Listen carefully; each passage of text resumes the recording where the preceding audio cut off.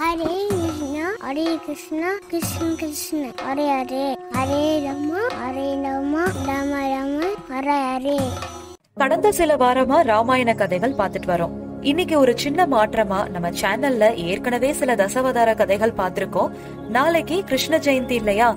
கிருஷ்ணரோட பிறந்த நாள். அதனால கிருஷ்ணவதாரம் பத்தி பார்க்கலாம். பொதுவாவே கிருஷ்ண ஜெயந்தினாலே தனி சிறப்பு தான் அதுலயும் வீட்டுல குழந்தைகள் இருந்துட்டா சொல்லவே வேணாம். அந்த குழந்தைகளுக்கு கிருஷ்ணர் வேஷம் போட்டு தலையில கிரீடம் கையில புல்லாங்குழல் இல்லைன்னா பானையில வெண்ணெய் எடுக்கிற மாதிரி அலங்காரம் செஞ்சு வீட்டு வாசல்ல இருந்து உள்ள கிருஷ்ணரே வர மாதிரி குழந்தைகளோட பாத சுவடை வச்சு அலங்காரம் செஞ்சு ரொம்ப நல்லா இருக்கும் பாக்குறதுக்கே. கிருஷ்ணரோட பிறந்த நாள் ஒவ்வொரு வருஷமும் ஆவணி மாதத்துல அஷ்டமி திதியில கொண்டாடுறோம். மகாவிஷ்ணு அவதாரமான கிருஷ்ணர் மற்றும் பலராமர் அவதாரம் பத்தி தான் இந்த காணொளியில பார்க்க போறோம். செவியில் கவியோசை கலந்திட என் அன்பான வணக்கத்துடன் இது ஏவியனின் கதை போமா.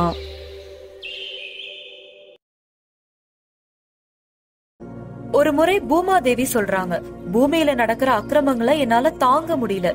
இதுக்கு ஒரு முடிவை கட்டியே ஆகணும்னு மகாவிஷ்ணுட்ட வேண்டுறாங்க. மகாவிஷ்ணு பூமாதேவியோட வேண்டுதலுக்கு இணங்க பூமியில அவதரிக்க போறதாக சொல்றாரு. மகாவிஷ்ணு எப்படி அவதரிச்சாரு என்னெல்லாம் நடந்துச்சுன்னு பார்க்கலாம். எதுகுலத்து இளவரசர் வசுதேவர் இவருக்கு தேவகின்ற பெண்ணோட திருமணம் நடந்தது. தேவகி யாருன்னா கம்சனோட தங்கை. கம்சன் தோற்றத்துலதான் மனிதனே தவிர உள்ளத்தால அசுரன்னே சொல்லலாம். வசுதேவர் தேவகி திருமணம் முடிஞ்சு கம்சன் அவரோட தேர்லயே அழைச்சிட்டு போறாரு மணமக்களை. அப்போ ஒரு அசரீரி குரல் கேக்குது கம்சன்ட்ட சொல்லுது. உன் சகோதரி தேவகி வயிற்றுல பிறக்க போகும் எட்டாவது ஆண் குழந்தை தான் உன் உயிரை வாங்க போகும் யமன்னு சொல்லிட்டு அந்த குரல் அப்படியே சாந்தமாயிருது. இப்போ தன் தங்கை மேல வச்சிருந்த பாசம் எதுவுமே கண்ணுக்கு தெரியல கம்சனுக்கு. அசரரி குரலை கேட்டு இனி தேவகி உயிரோட இருந்தா நம்ம உயிரோட இருக்க முடியாதுன்னு மனக்கோலத்துல இருக்கிற தங்கைன்னு கூட பாக்காம ஆவேசமா வாள் எடுத்து தேவகிய வெட்ட போனாரு. ஆனா வசுதேவர் குறுக்கிட்டு சொல்றாரு உங்களோட போட்டியிட்டு என்னால ஜெயிக்க முடியாது. தேவகி வயிற்றுல பிறக்க போகும் அத்தனை குழந்தையும் நான் உங்ககிட்ட ஒப்படைக்கிறேன். நீங்க என்னனாலும் செஞ்சுக்கோங்க. மரணத்துக்காக நீங்க இவ்வளவு பயப்படுவீங்கன்னு நான் நினைச்சு கூட பார்க்கல. என் மனைவியை விட்டுருங்கன்னு சொல்லவும் கம்சனும் அந்த நிபந்தனைக்கு ஒத்துக்கிட்டாரு. சில மாதங்கள் கழிச்சு தேவகிக்கு ஒரு குழந்தை பிறக்குது. வசுதேவர் சொன்ன வாக்க காப்பாத்த அந்த குழந்தையை எடுத்துட்டு கம்சன் அரண்மனைக்கு போறாரு. கம்சன் வசுதேவரோட குணத்தை பார்த்து ரொம்பவே ஆச்சரியப்பட்டாரு. அப்புறம் கம்சன் சொல்றாரு உங்களோட எட்டாவது ஆண் குழந்தையால தான் எனக்கு ஆபத்து. இந்த குழந்தை எனக்கு வேண்டான்னு சொல்லி அனுப்பி வைக்கிறாரு வசுதேவரை. அந்த சமயத்துலதான் நாரதர் வந்து கம்சனை பாக்குறாரு நாரதர் அவரோட வேலையை பார்க்கணும் இல்லையா? நாரதர் கம்சன்ட்ட சொல்றாரு. தேவகிக்கு பிறக்க போகும் எட்டாவது குழந்தை விஷ்ணுவோட அவதாரம். அதுக்கு முன்னாடியே சில தேவர்களே எதுகுலத்துல பிறந்து எட்டாவது குழந்தைக்கு உதவி செய்ய போறாங்க. அது யாருன்னெல்லாம் நம்மளால கண்டுபிடிக்க முடியாது. அதனால தேவகியோட முதல் குழந்தையவே நீ கொன்றுன்னு சொல்றாரு. இப்போ நாரதரோட வேலை முடிஞ்சுது. கம்சன் கோபத்தோட வசுதேவரையும் தேவகியையும் பாதாள சிறையில அடைக்கிறாரு. ஆனா தேவகிக்கு பிறக்கிற குழந்தை எல்லாம் ஒரு சாபத்தின் விளைவா பூமியில பிறந்தோனே இறந்துரும். அதன்படி ஆறு குழந்தைகள் இருந்தாச்சு. இப்போ ஏழாவது குழந்தையா பிறக்க போறது மகாவிஷ்ணு. அவரை தாங்கும் பாம்பை தேவகி கருவுல குழந்தையா பிறக்க அருள் புரிகிறாரு. கிருஷ்ண அவதாரத்துக்கு முந்தைய அவதாரத்துலதான் இந்த நாகம் ராமனுக்கு தம்பியா. அதாவது லக்ஷ்மணனா பிறந்து எவ்வளவோ சேவைகள் செஞ்சாரு. அதுக்கு நன்றியா இப்போ கிருஷ்ணனுக்கு அண்ணனா அந்த நாகம் பிறக்கட்டும்னு முடிவெடுத்தாரு. அந்த நாகம் தான் போன அவதாரத்துல லக்ஷ்மணன் இப்போ பலராமர். கிருஷ்ணருக்கு இன்னொரு பெண் சக்தியும் இருக்கு. அவங்க பேரு தான் மாயா. கிருஷ்ணர் மாயாட்ட சொல்றாரு தேவகியோட வயிற்றுல தான் நான் அவதரிக்க போறேன். அதுக்கு முன்னாடி அந்த நாகம் தேவகி வயிற்றுக்கு போயிருச்சு. இப்போ நீ கோகுலத்துல இருக்கக்கூடிய நந்தகோபர் யசோதை கருவுல உருவெடு. அப்புறம் தேவகி வயிற்றுல இருக்கக்கூடிய கருவை அகற்றி வசுதேவரோட இன்னொரு மனைவியான ரோஹிணி வயிற்றுல மாத்திரு. அதுக்கப்புறமா நான் பாத்துக்கிறேன்னு சொல்றாரு. அதே மாதிரி யசோதை வயிற்றுல மாயா வந்து தேவகி வயிற்றுல இருந்த பலராமரை ரோஹிணி வயிற்றுக்கு மாத்தினாங்க. இப்போ கிருஷ்ணர் தேவகி வயிற்றுக்கு போறாரு. ஆவணி மாதத்துல அஷ்டமி திதி அப்போ கிருஷ்ணர் பிறக்கிறாரு. கையில சங்கு சக்கரம் தாமரை கதாயுதம் மஞ்சள் பட்டு ஆபரணத்தோட பிறந்தாரு. மகாவிஷ்ணு அவதாரமான கிருஷ்ணர் பிறந்ததை பார்த்து வசுதேவரும் தேவகியும் ரொம்பவே சந்தோஷம் அடைறாங்க.